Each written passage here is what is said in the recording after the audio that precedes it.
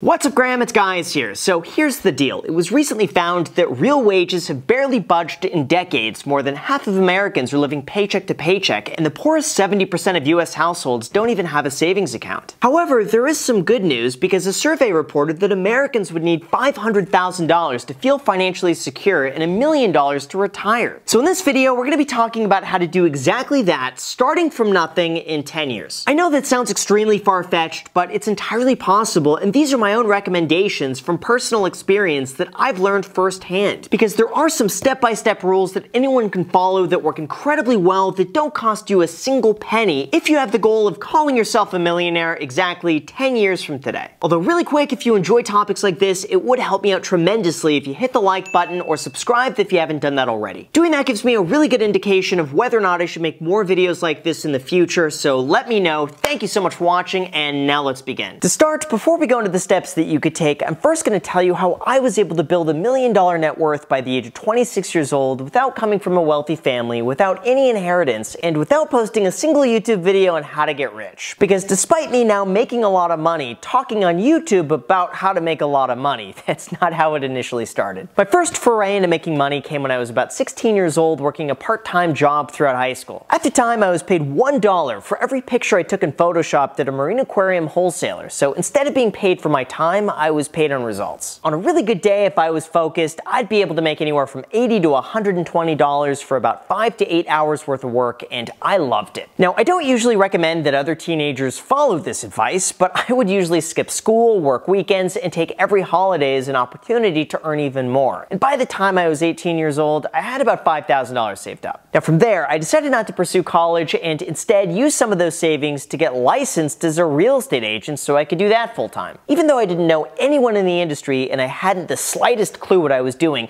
I would spend every weekend going to open houses and asking other agents how they were able to grow their business. And by pure luck, I met an agent who allowed me to work underneath him, help him out with whatever he needed, and whatever business I brought in would be split 50-50. From that point on, I spent the next four years working 10 to 12 hour days, seven days a week, taking on any business I could and saving as much money as I earned. Since I was entirely paid on commission, my income was extremely extremely inconsistent, so I took saving and personal finance extremely seriously. I budgeted every penny that went into and out of my account, I wouldn't spend money unless I absolutely had to, and I treated every dollar as though it was the last dollar that I would earn but it paid off. Within four years, I had about $200,000 saved up from a combination of a growing clientele, a few very fortunate listings, and the frugality to resist the urge to spend it. It was around this time that I noticed my wealthiest clients had begun to invest in real estate, and after I helped one of them buy a property in San Bernardino, it hit me I should be doing this too. So I spent months seeing potential properties every single weekend and writing lowball offers on every single home that came on the market within a certain criteria. But in doing so, I was able to purchase three bank-owned properties that I subsequently renovated and then rented out. From there, I continued reinvesting as much as I could. I slowly began to increase my business as a real estate agent. I took on higher price listings. My past clients began referring me even more business, and all of a sudden, I began making a lot more money. That allowed me to purchase a fourth property in West Los Angeles around my 26th birthday, which I then fixed up and later rented out. At that point, between the increased equity of four properties along with cash in the bank, I had reached a million dollar net worth by the age of 26 years old, starting with zero in 10 years before even making a YouTube video about it. But in terms of the practical steps that you could take along with the blueprints that everyone else is able to follow, here's what I recommend. Number one, if you're gonna do this in 10 years, you need to save as much money as possible. As simple as it might be to say, without this part, the entire plan fails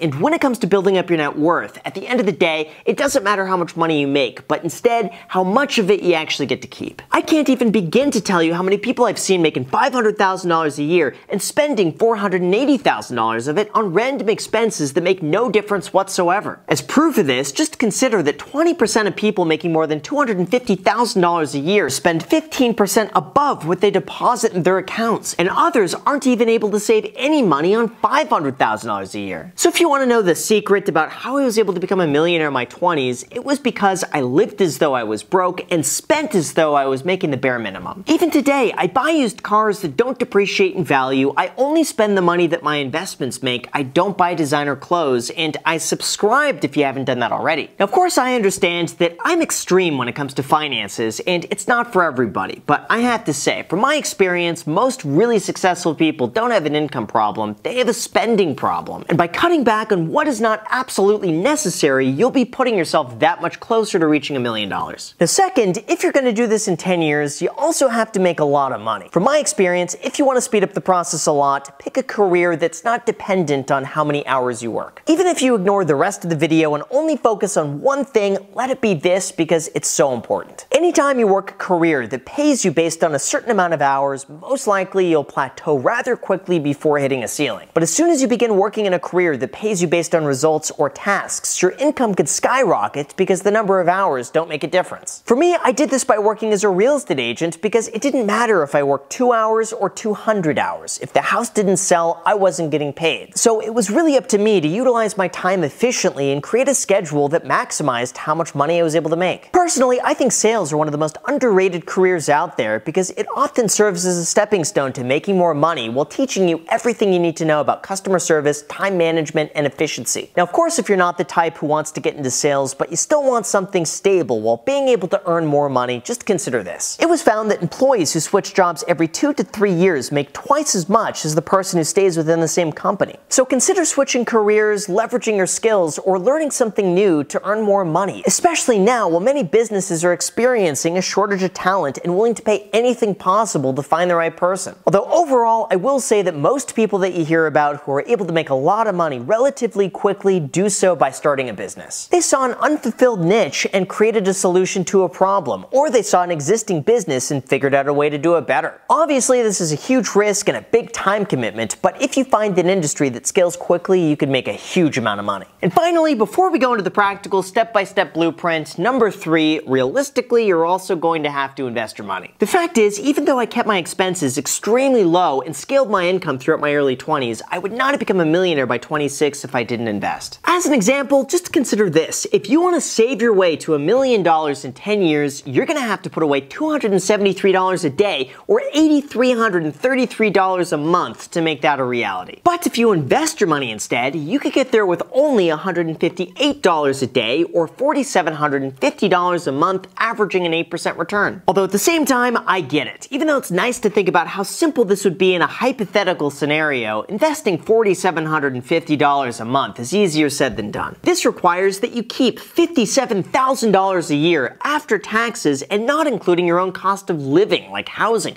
car payments, insurance, everything else that adds up. Plus, if you're able to actually save $57,000 a year after taxes, chances are you're already making between 100 and $120,000 a year while also being excessively frugal at the exact same time. Of course, some people might say, but Graham, I'm able to make a 15% return on my money and do that on much less, and my buddy makes 30% a month on his crypto investments, so this is false. And yeah, I'll admit you could take a different approach to your investments that might make you a lot more money. But there's a catch. Either you make a return that's directly proportional to your chances of losing money, or it's an investment that's going to take a lot more work than you initially expected. There's no such thing as a free lunch. For me, I enjoy the long-term consistency of investing in the stock market through a well-diversified index fund because it's really hard to mess that up and 99% of people can get started in less than 5 minutes. But anyway, in terms of the practical steps that anyone could implement immediately, here's what I would do. First, cut back as many expenses as you possibly can. Figure out the bare minimum that you need to survive along with some discretionary income thrown in every now and then, and from that point on, everything you make will be automatically invested. Second, determine how you can make more money. Perhaps look into switching careers, learning a trade, taking on a side hustle, or starting on a part-time home business. The fact is, it's not going to be possible if you're earning under $50,000 a year, but the good news is that there are plenty of ways to make more money if you're willing to put in the time. Third, once you have enough money saved up, I would highly recommend you either reduce or eliminate your housing expense all together by doing what's called house hacking. This is where you buy a multifamily property like a duplex, triplex, or fourplex, and then you rent them out while living in one of the units. Typically, when you do this right, the other units will pay for your entire cost of living, allowing you to stay there for free while getting to buy a property at the exact same time. Instantaneously, that could free up your entire housing payment, and just by saving that 20 to 50% difference, you're going to be on track to a million dollar net worth that much faster. And fourth, if you have an interest in house hacking, you could repeat that process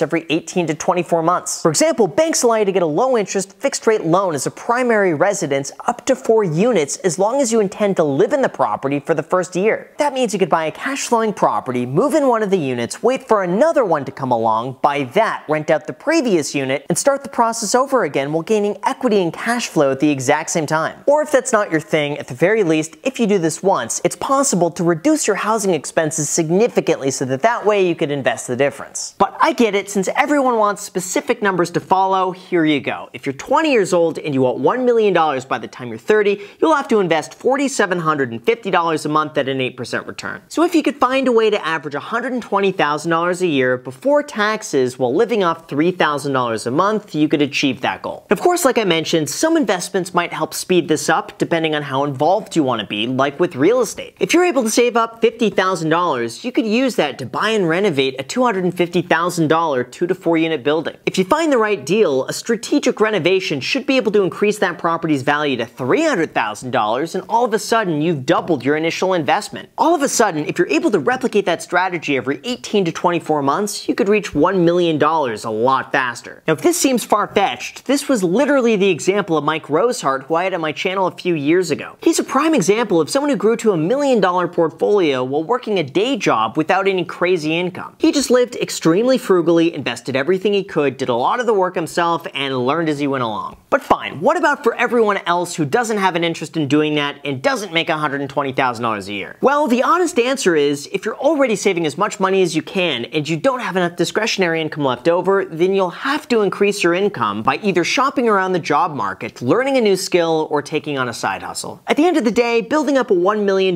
portfolio is all about the numbers, and even though your spending tends to be the easiest to control to point you in the right direction, your income is going to be the speed at which you hit your target. So by lowering your overhead while increasing your income and diligently investing the difference, you could work backwards to be a millionaire in 10 years without being any more complicated than that. So with that said, guys, thank you so much for watching. As always, feel free to add me on Instagram. Thank you so much for watching, and until next time.